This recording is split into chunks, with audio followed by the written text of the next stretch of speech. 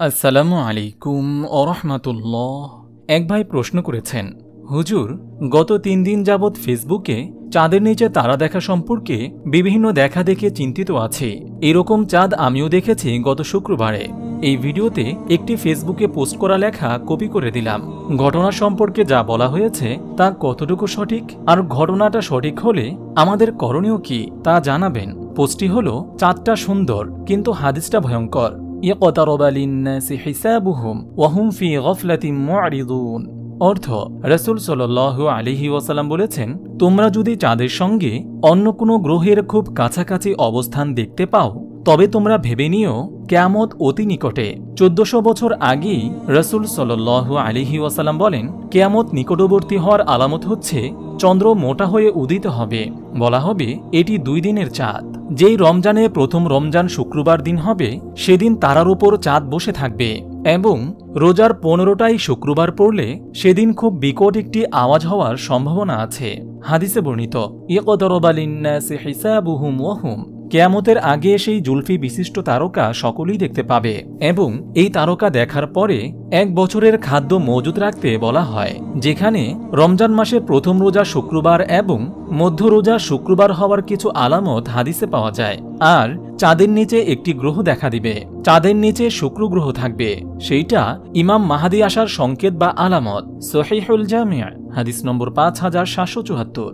ফুরাত নদী শুকিয়ে গেছে আরবভূমি সবুজ শ্যামল হয়েছে। অবশেষে এই চারটাও একটা আয়াতের কথা মনে করিয়ে দিচ্ছে। আয়াতটি হল ইকতারবালিন্নাহুম কেয়ামতের আগে রমজান মাসে প্রথম রোজা হবে শুক্রবারে, আর চাঁদের নিচে একটি গ্রহ দেখা দিবে। পনেরোই রমজান শুক্রবার বিকট আওয়াজ হওয়ার সম্ভাবনা, পোস্টটি এই ছিল। এই নিয়ে কিছু বলবেন আশা করি। ইন্নালহামদুলিল্লাহ ও সলাতাম আলা রসুলিল্লাহ অবাদ কেয়ামত একটি সুনির্দিষ্ট বিষয়। সন্দেহ ছাড়া এটা হবেই। ইসলামের এমন একটি মৌলিক বিশ্বাসকে প্রশ্নবিদ্ধ ও বিতর্কিত করার চেষ্টা ইসলাম বিদ্বেষীদের পুরনো আদত। ইসলাম বিদ্বেষীরা নানা ইস্যুতে ইসলাম বিষয় কতিপয় বিষয়কে, চিত্তাকর্ষী ও মুখরোচক বিষয়কে সমন্বিত করে উপস্থাপন করে ছড়িয়ে দেয়। পরবর্তীতে তা ভুল প্রমাণ হবার দ্বারা উক্ত আকিদা সম্পর্কে মানুষের মনে সন্দেহ দানা বাঁধে। এভাবেই ইসলামের আকিদা সম্পর্কে মানুষকে বিভ্রান্ত করাই ইসলাম বিদ্বেষীদের একটি সফলতা। এবারে রমজান মাস শুক্রবার শুরু হওয়া এবং চাঁদের নিচে একটি তারকা বা গ্রহ দেখতে পাওয়াকে কেন্দ্র করে কেয়ামতের আলামত নামে যেসব গুজব ছড়ানো হচ্ছে, তা সত্যি দুঃখজনক। দুর্ভাগ্যজনকভাবে, কিছু সেলিব্রিটি এসব ভিত্তিহীন বিষয়কে আকপিচ লাগিয়ে আস্ত হাদিসি বানিয়ে ফেলছেন। উক্ত পোস্টের বক্তব্যগুলোও পুরোপুরি বানোয়াট ও মিথ্যা তথ্যে ভরপুর। এর কয়েকটি এই ভিডিওতে তা উল্লেখ করা হলো। তা হল নম্বর এক। প্রশ্নের প্রথমে হাদিস নামে যা উদ্ধৃত করা হয়েছে সেটি আদৌ হাদিস নয়, বরং এটি কোরআনের একটি আয়াত, সুরা আম্বিয়ার প্রথম আয়াত, যা হল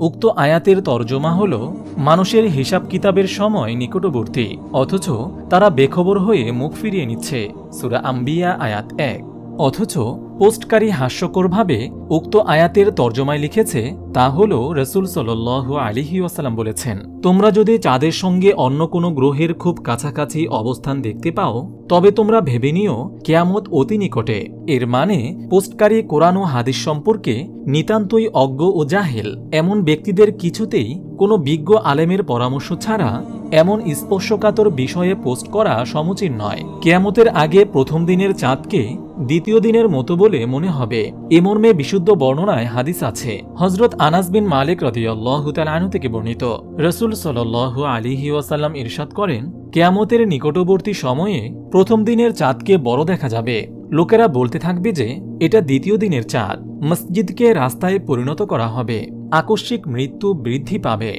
কিন্তু এ হাদিসকে যেভাবে চাঁদের নিচে তারকার সাথে মিলানো হচ্ছে, এটা আসলেই হাস্যকর ও বিভ্রান্তিকর। যেই রমজানে প্রথম রমজান শুক্রবার দিন হবে সেদিন তারার ওপর চাঁদ বসে থাকবে এবং রমজানের রোজার পাঁচটা শুক্রবার পড়লে সেদিন খুব বিকট একটা আওয়াজ হওয়ার সম্ভাবনা আছে।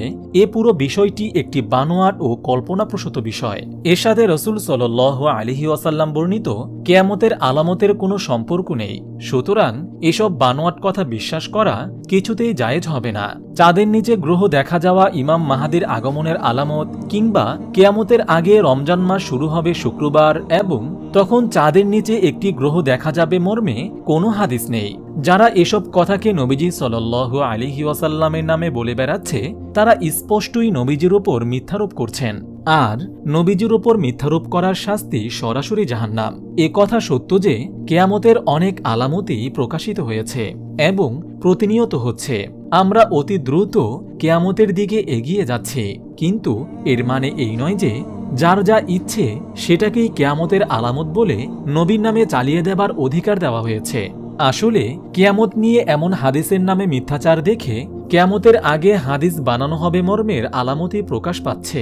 এর মানে কেয়ামতের আলামত বর্ণনাকারীরা নিজেরাই আসলে কেয়ামতের আলামত। আবু হরারা রদিয়াল্লাহ আনহতে বর্ণিত। রসুল সোল আলিহি ওয়াসাল্লাম বলেছেন, শেষ যুগে কিছু সংখ্যক প্রতারক ও মিথ্যাবাদী লোকের আবির্ভাব ঘটবে। তারা তোমাদের কাছে এমন সব হাদিস বর্ণনা করবে যা কখনো তোমরা এবং তোমাদের পূর্বপুরুষরা শোনি সুতরাং তাদের থেকে সাবধান থাকবে এবং তাদেরকে তোমাদের থেকে দূরে রাখবে। তারা যেন তোমাদের বিভ্রান্ত করতে না পারে এবং তোমাদেরকে ফিতনায় ফেলতে না পারে।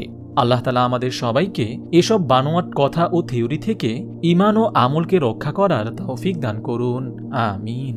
আপনি যদি এরকম ভিডিও আরও পেতে চান, তাহলে এই চ্যানেলটি সাবস্ক্রাইব করে পাশে রাখা বেল আইকনটি অন করে দিন।